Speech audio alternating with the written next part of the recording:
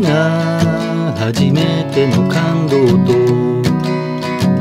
ファーストインプレッションもう思い出せないの。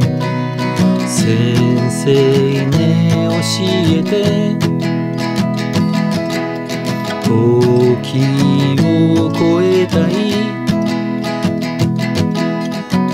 2周目のあのゲームみたいにほら。結局は難しくなるだけさ。限られた時をかけるあの頃に似てた全てがほら宝物になる。それぞれが今を生きる。胸に手を当てて思い出すのさ。僕のタイムは